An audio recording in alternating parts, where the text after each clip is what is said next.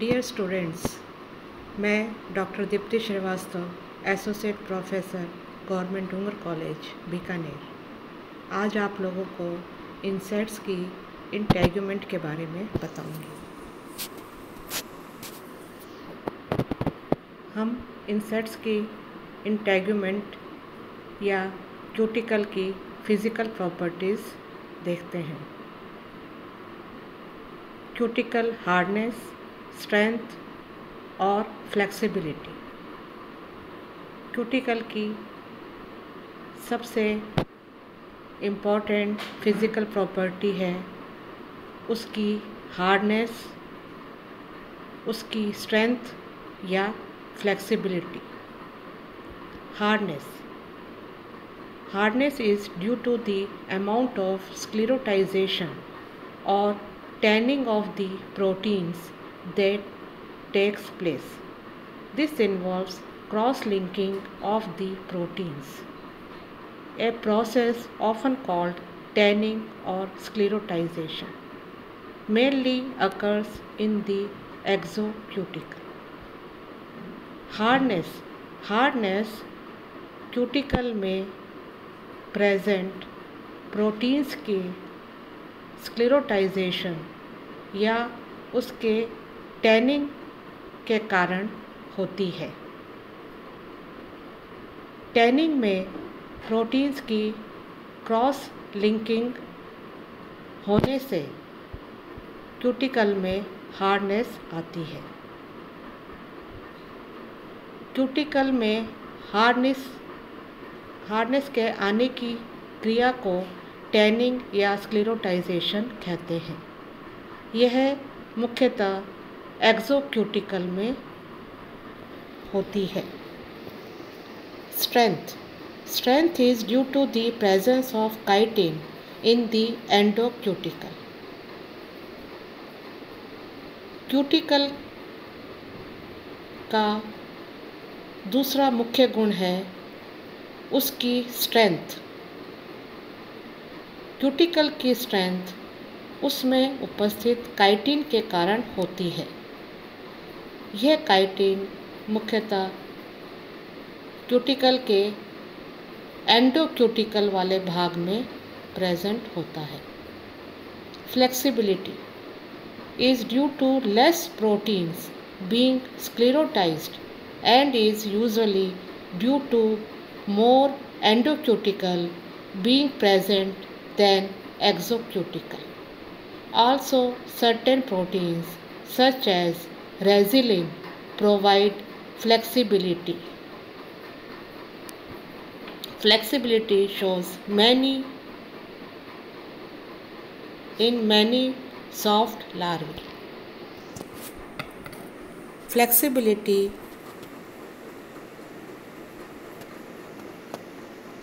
proteins के कम होने के कारण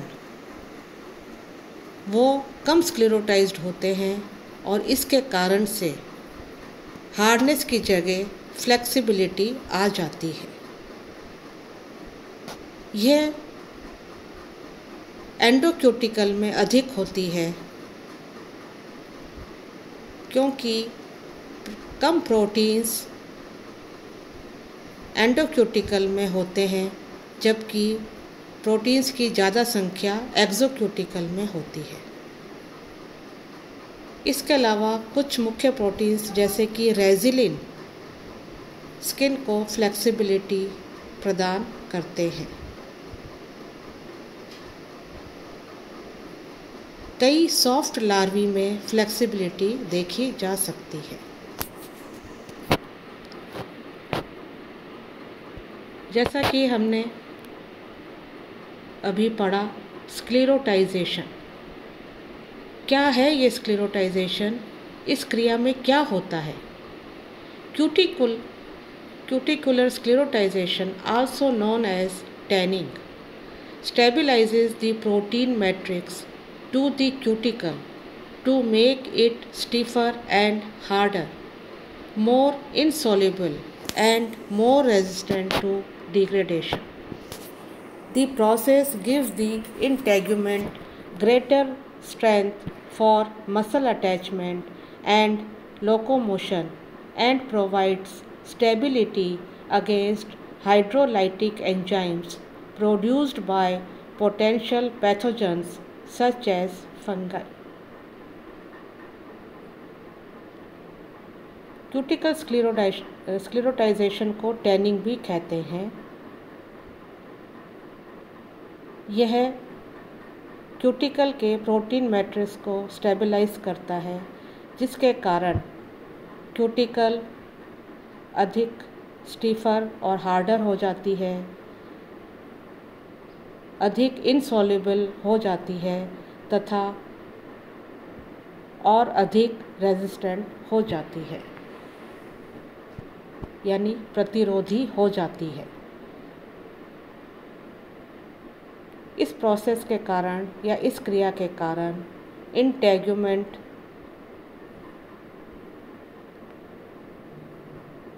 मसल अटैचमेंट और लोकोमोशन के कारण लोकोमोशन के लिए अधिक स्ट्रेंथ वाली हो जाती है और हाइड्रोलाइटिक एंजाइम्स के प्रति अधिक स्टेबल या स्थायी हो जाती है। ये एंजाइम्स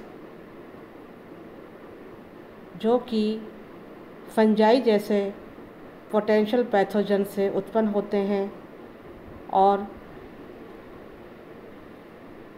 इनके कारण इंसेक्ट की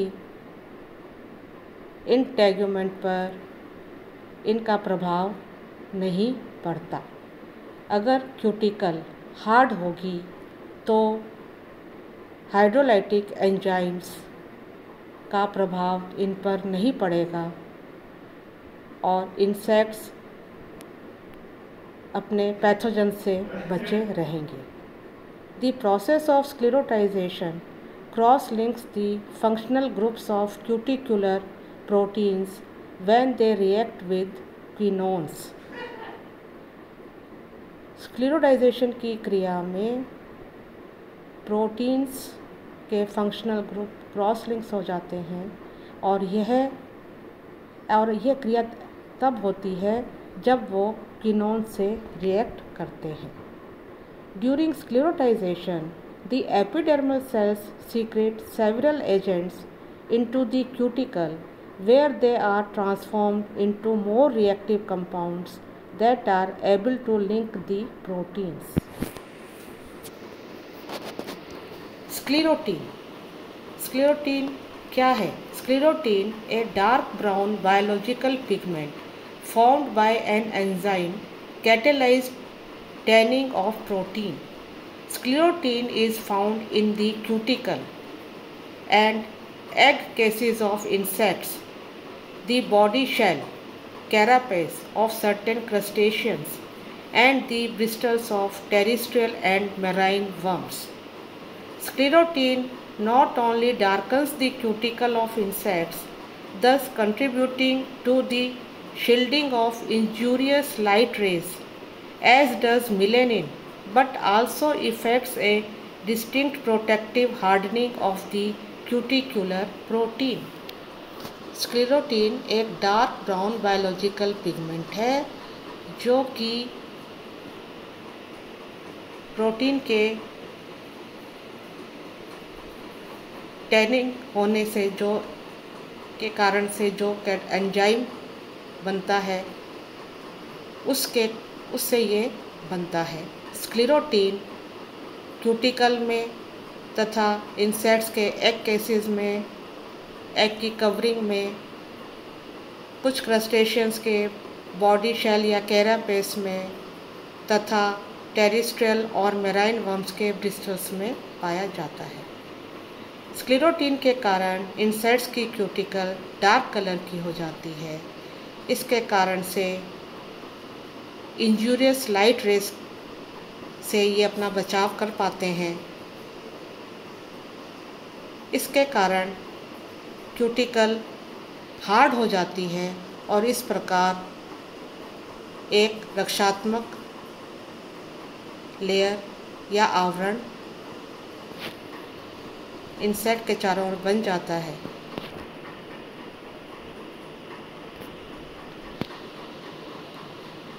काइटिन क्या है?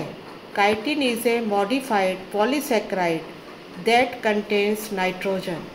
It is synthesized from units of N-acetyl D-glucosamine.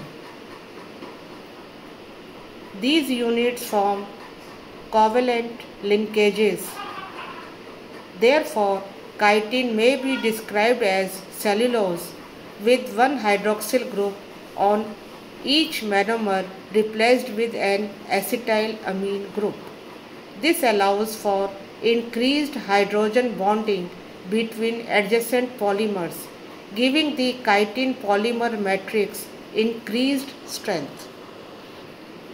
जैसा कि हमने अभी पढ़ा कि इंसेक्ट्स की क्यूटिकल में काइटिन प्रेजेंट होता है काइटिन एक मॉडिफाइड पॉलीसेक्राइड है जिसमें नाइट्रोजन उपस्थित होती है और ये कई एन एसिटाइल ड्यू ग्लूकोजामिन की यूनिट से या इकाइयों से बनता है। ये इकाइयाँ कोवलेंट बॉन्ड द्वारा या कोवलेंट लिंकेजेस द्वारा जुड़ी रहती हैं। इसके कारण जो काइटिन पॉलीमर बनता है, वो क्यूटिकल को या इंटेग्यूमेंट को स्ट्रेंथ प्रदान करता है। क्यूटिकल की अगली प्रॉपर्टी या अगला गुण है colouration and melanisation insect colours are due to either pigments in the exocuticle such as melanin and they are usually lacking in endocuticle. Second, physical structure of the cuticle to form diffraction gradients that diffract light in various ways. This results in the iridescence of the blue morpho butterflies and gold of beetles, gold on monarch tyracilis, silver of the fritillaries and color of tiger beetles etc. Insect में रंग दो कारणों से होते हैं pigments की उपस्थिति के कारण तथा उसकी फ़िज़िकल स्ट्रक्चर के कारण क्यूटिकल में क्यूटिकल की एक्सो क्यूटिकल जो पार्ट है, उसमें पिगमेंट्स उपस्थित होते हैं, जैसे कि मिलेनिन इसके कारण इंसेक्ट्स डिफरेंट कलर्स के दिखाई देते हैं। मिलेनिन एक्जोक्यूटिकल में उपस्थित होते हैं, जबकि एंडोक्यूटिकल में नहीं होते। अधिकतर ये एंडोक्यूटिकल में नहीं होते। इसके अलावा क्यूटिकल की फ़िज़िकल स्ट्रक्चर डिफ्रैक्शन या विवर्तन ग्रेडियंट्स बनाती है, जिसके कारण से प्रकाश विवर्तित हो जाता है, डिफ्रैक्ट हो जाता है, जिसके और इंसेट्स अलग अलग रंगों के या अलग अलग रंगों की आभा लिए हुए दिखाई देते हैं। जैसे कि ब्लू मॉर्फो बटरफ्लाइज में इंद्रधनुषी कलर्स दिखाई देते हैं। बीटल्स में सुनहरीपन दिखाई देता है। इसी तरह से मोनार्च क्राइसेलिस में भी गोल्ड कलर या सुनहरी, फ्रिटिलरीज में सिल्वर तथा टाइगर बीटल के कलर, ये सब डिफरेंट इंसेक्ट्स के कलर के उदाहरण हैं।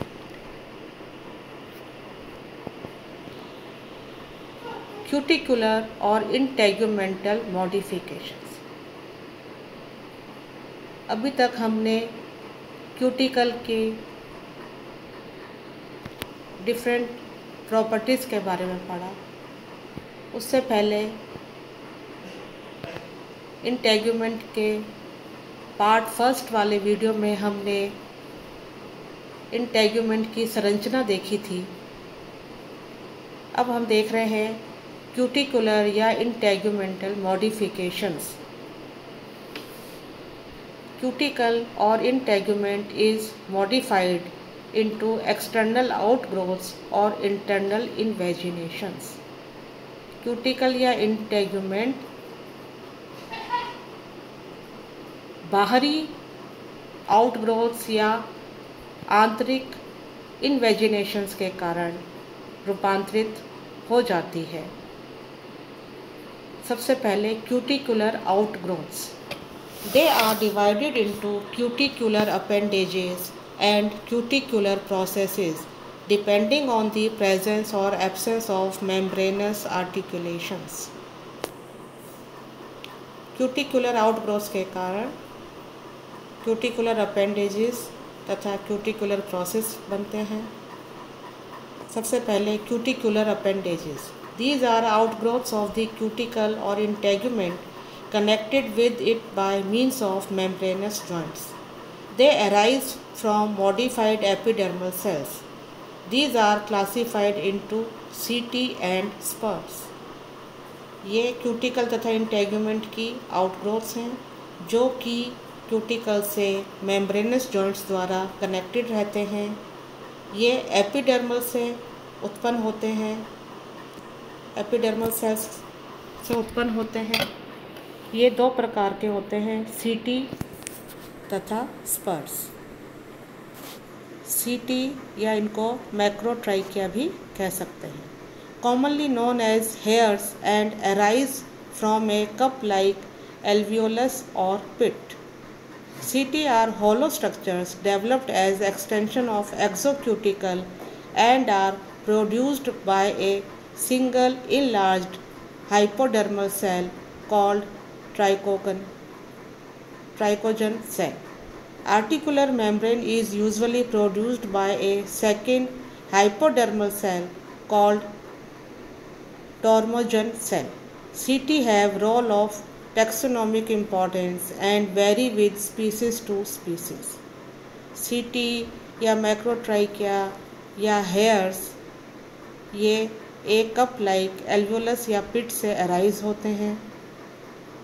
ये हॉलो स्ट्रक्चर्स हैं, जो कि एक्जोक्यूटिकल के एक्सटेंशंस के रूप में डेवलप होते हैं, तथा एक सिंगल इनलार्ज हाइपोडर्मल कोशिका या उस सेल से प्रोड्यूस्ड होते हैं। इस कोशिका या इस सेल को ट्राइकोजन सेल कहते हैं। एक आर्टिकुलर मेम्ब्रेन दूसरी हाइपोडर्मल सेल से प्रोड्यूस्ड होती है। इस दूसरी हाइपोडर्मल सेल को टॉर्मोजन सेल कहते हैं। सीटी की टेक्सोनॉमिक इम्पॉर्टेंस हैं और ये सीटी की संख्या या उसकी संरचना स्पीसीज टू स्पीसीज वेरी करती है। इस तरह से सीटी को देखकर स्पीसीज को पहचान सकते हैं। Second spurs on the legs of many insects and differ from CT in being multi cellular in origin spurs कई इंसेक्ट्स की लेग्स पर स्थित होते हैं। ये सीटी से डिफ़र होते हैं क्योंकि ये ओरिजिन में मल्टी सेलुलर होते हैं। सीटी या मैक्रोट्राइकिया यूनिसेलुलर हैं, जबकि स्पर्स मल्टी सेलुलर हैं। Second cuticular processes they have no membranous articulation they are of two types microtrichia और फिक्स्ड हेयर्स और actually These are minute hair-like structures found on wings of Mecoptera and certain Diptera. Cuticular process में सबसे पहले माइक्रोट्राइकिया या fixed hairs या actually ये छोटे hair like structures हैं, जो कि मैकोप्टेरा तथा कुछ डिप्टेरा के विंग्स पर पाए जाते हैं। Second spines outgrowth of the cuticle which are more और less thorn like in form spur और spines cuticular appendages or cuticular processes, movable multicellular structures and thick wall ये क्यूटिकुलर अपेंडेजेस हैं या क्यूटिकुलर प्रोसेसेस हैं, ये movable होते हैं multi cellular होते हैं तथा थिक वॉल्ड होते हैं।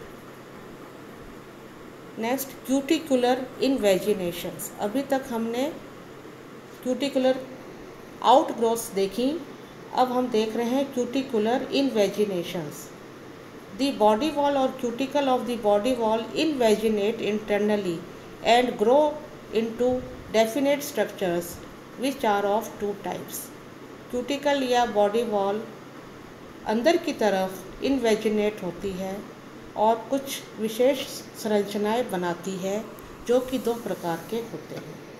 First apodeme these are hollow invagination of the body wall and second apophysis these are solid invagination of body wall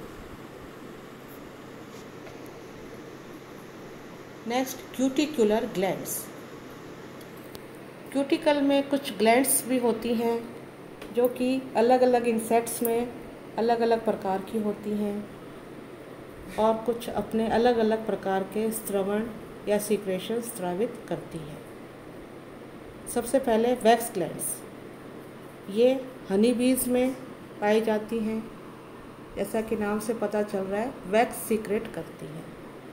leg glands leg insects में पाई जाने वाली मोल्टिंग ग्लैंड, जो कि मोल्टिंग फ्लूड सीक्रेट करती हैं, एंड्रोकोनिया और सेंट स्केल मॉथ्स में पाए जाते हैं। पॉइजन ग्लैंड स्लग कैटरपिलर में पॉइजन ग्लैंड पाई जाती है।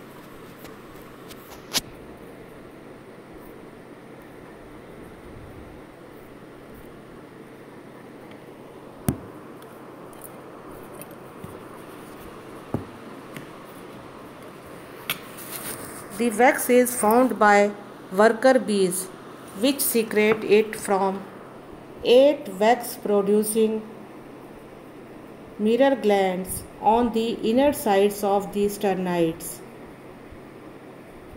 or the ventral shield or plate of each segment of the body on abdominal segments 4 to 7 Honey बीज में भी वर्कर बीज में वैक्स फॉर्म्ड होता है। ये वैक्स इनके एब्डोमिनल सेगमेंट्स चार से सात पर उपस्थित। आठ wax producing mirror glands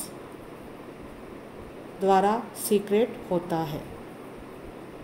Sizes of these wax glands depend on the age of the worker. इन वैक्स ग्लैंड्स का साइज़ या आकार वर्कर की एज पर डिपेंड करता है and after many daily flights these glands gradually begin to atrophy और worker bees की डेली फ्लाइट्स के कई सारी डेली फ्लाइट्स के बाद ये ग्लैंड्स धीरे धीरे ख़त्म हो जाती हैं The integument of the leg insect consists of an external layer of cuticle underlying which there is the syncytial hypodermis. Many of those cells are modified into leg glands which secrete the resin of commerce wax glands के बाद leg glands leg glands leg insects में पाई जाती हैं, जो कि leg secret करती हैं. ये लेग इंसेक्ट्स की क्यूटिकल की एक्सटर्नल लेयर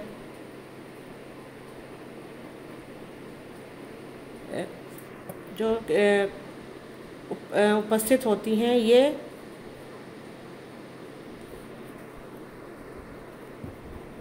कई सारी कोशिकाओं की बनी होती है। ये कोशिकाएँ लेग ग्लैंड्स में मॉडिफाइड हो जाती हैं और रेजिन को सीक्रेट करती हैं।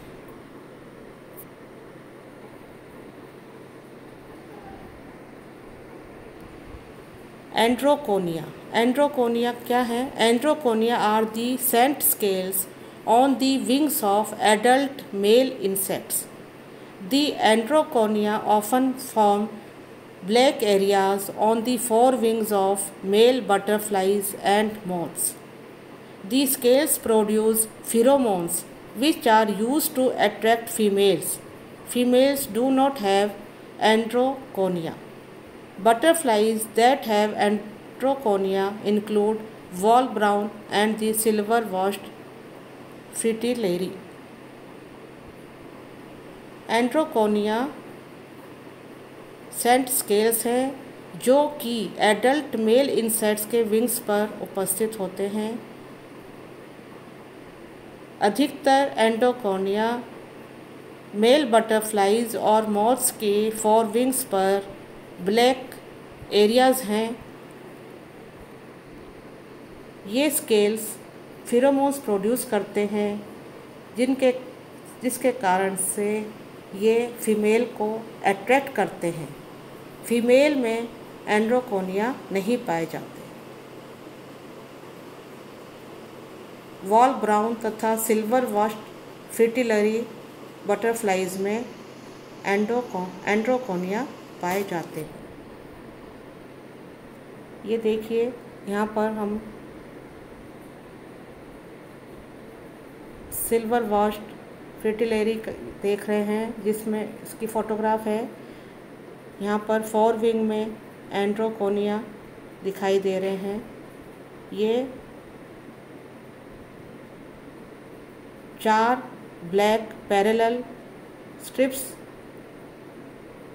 के रूप में फोर विंग में अरेंज्ड हैं।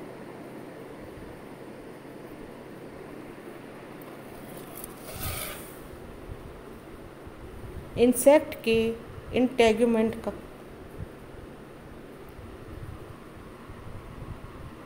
के कारण इंसेक्ट्स में जो मुख्य गुण पाया जाता है, वो है ecdysis. Ecdysis. Ecdysis is a periodical process of shedding the old cuticle accompanied by the formation of new cuticle, is known as molting or ecdysis.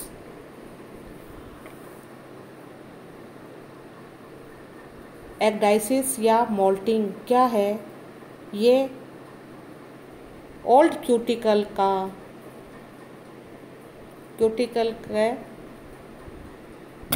गिरने का शेडिंग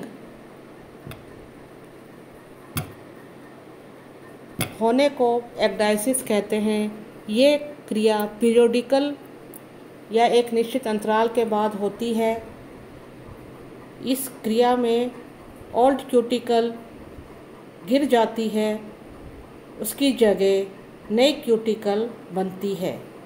तो पुरानी क्यूटिकल का गिरना एक निश्चित अंतराल के बाद पुरानी क्यूटिकल का बनना पुरानी क्यूटिकल का गिरना तथा नई क्यूटिकल का बनना इस क्रिया को मोल्टिंग या एगडाइसिस कहते हैं। The cuticular parts discarded during molting is known as exuviae molting के दौरान जो क्यूटिकल का पार्ट डिस्कार्ड किया जाता है या जो इंसेक्ट के शरीर से अलग हो जाता है, उस पार्ट को एक्जूविया कहते हैं। Moulting occurs many times in an insect during the immature stages before attaining the adulthood एक इंसेक्ट में मोल्टिंग कई बार होती है। यह क्रिया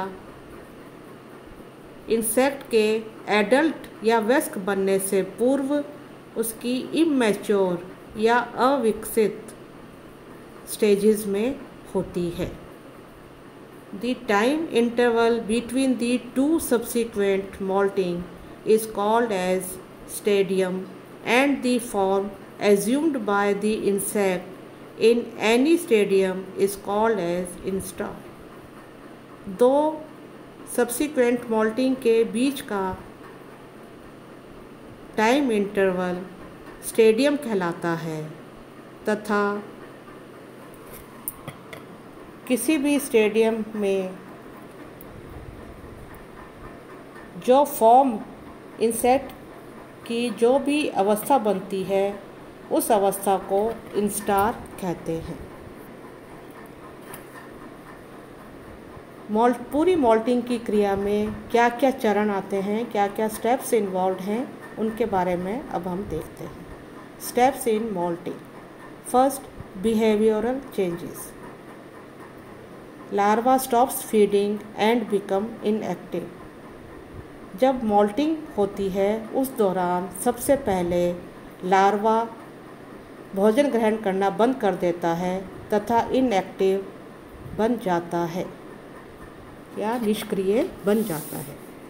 Second changes in epidermis in the epidermis cell size its activity protein content and enzyme level increases epidermis की जो सेल्स हैं, उसमें उनका साइज़ उनकी एक्टिविटी प्रोटीन कंटेंट और एंजाइम लेवल इंक्रीज हो जाता है, बढ़ जाता है। Cell divide mitotically and increases the tension which results in loosening the cells of cuticle कोशिकाएँ माइटोटिकली डिवाइड होती हैं। काफ़ी विभाजन के कारण टेंशन इंक्रीज़ हो जाती है, बढ़ जाती है, क्योंकि कोशिकाओं की संख्या बढ़ रही है, लेकिन स्थान सीमित है या स्थान वही है। इसके कारण से क्यूटिक ऊपर, क्यूटिकल पर एक दबाव बढ़ जाता है, जिसके कारण से क्यूटिकल की कोशिकाएँ टूटने लग, लगती हैं और वो हटने लगती हैं। Apolysis, detachment of cuticle from epidermis. Epidermis से क्यूटिकल के हटने की क्रिया को एपोलाइसिस कहते हैं। Next, formation of sub cuticular space. Cuticle और एपिडर्मिस के मध्य सब क्यूटिकुलर स्पेस बनने लगता है। Next step secretion of molting gel in the subcuticular space, which is rich with chitinase and protease. सब क्यूटिकुलर स्पेस में मॉल्टिंग जेल का सीक्रेशन होता है। ये मॉल्ट इस मॉल्टिंग जेल में काइटिनेज तथा प्रोटीज एंजाइम प्रचुर मात्रा में होते हैं। Next step, new epicuticle formation. Cuticulin layer is laid over the epidermis. Procuticle formation. Procuticle is found below the epicuticle. Activation of molting gel. Molting gel is converted into molting fluid rich in enzymes. This activates endocuticle digestion and absorption. Molting gel molting fluid में convert हो जाता है, जिसमें enzymes काफ़ी प्रचुर मात्रा में होते हैं। ये एंडोक्यूटिकल डाइजेशन और उसके एब्जॉर्बशन को एक्टिवेट करते हैं। Next, wax layer formation. Wax threads of pore canal secrete wax layer. Cement layer formation. Dermal gland secretes cement layer. और tactocuticle. Molting. This involves two steps. First, rupturing of old cuticle. Insect increases its body volume through intake of air or water which enhances the blood flow to head and thorax. Thereby the old cuticle ruptures along predetermined line of weakness known as ecdysial line. Insect अपने body volume को बढ़ाता है और यह क्रिया air या water के intake के कारण या अंदर लेने के कारण से होती है, जिसके कारण हेड और थॉरेक्स में ब्लड के फ्लो ब्लड का फ्लो बढ़ जाता है और old cuticle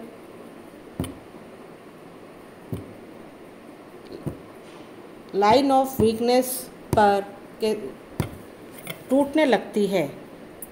यानी कि ऐसा स्थान जहाँ पर क्यूटिकल वीक होती है, वहाँ से क्यूटिकल रप्चर हो जाती है। ये line of weakness ecdysial line कहलाती हैं। Next removal of old cuticle peristaltic movement of body and lubricant action of molting fluid helps in the removal of old cuticle.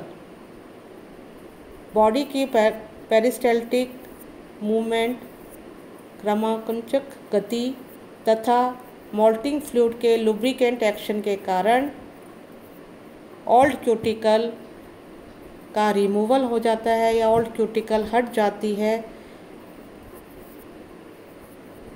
प्रत्येक मॉल्टिंग के दौरान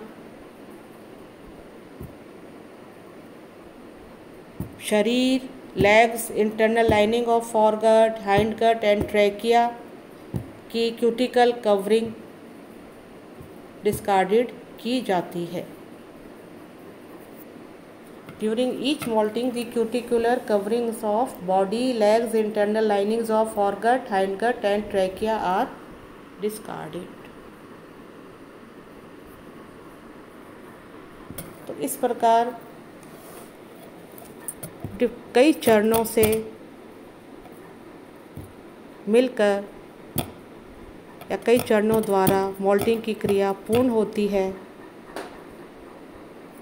मॉल्टिंग की क्रिया में कौन से हार्मोन्स हेल्प करते हैं या कंट्रोल करते हैं? Control of molting. It is controlled by endocrine glands like prothoracic gland. Which secrete malting hormone molting की क्रिया एंडोक्राइन ग्लैंड्स जैसे कि प्रोथोरेसिक ग्लैंड्स द्वारा कंट्रोल्ड होती है। ये प्रोथोरेसिक ग्लैंड मॉल्टिंग हार्मोन को सीक्रेट करती है। Endocrine glands are activated by prothoracicotropic hormones produced by neurosecretory cells of brain brain के neurosecretory cells prothoracicotropic hormone secrete करते हैं। ये हार्मोन्स प्रोथोरेसिक ग्लैंड को एक्टिवेट करते हैं, जिसके कारण से ये प्रोथोरेसिक ग्लैंड मोल्टिंग हार्मोन स्रवित करती है और ये मोल्टिंग हार्मोन मोल्टिंग की क्रिया को कंट्रोल करता है। इसके अलावा और कौन से हार्मोन्स हैं जो कि मोल्टिंग को नियंत्रित नियंत्रित करते हैं? जे एच या juvenile hormone produced from corpora allata of brain that helps the insects to be in immature stage juvenile hormone ये ब्रेन के कॉर्पोरा एलेटा द्वारा प्रोड्यूस्ड होता है ये इंसेक्ट्स को इमेच्योर अवस्था या अविकसित अवस्था में बने रहने में मदद करता है। एम एच या मोल्टिंग हार्मोन जैसा कि अभी हमने पढ़ा, ये प्रोथोरेसी ग्लैंड से प्रोड्यूस्ड होता है और ये मोल्टिंग के प्रोसेस को इंड्यूस्ड करता है। फिर eclosion hormone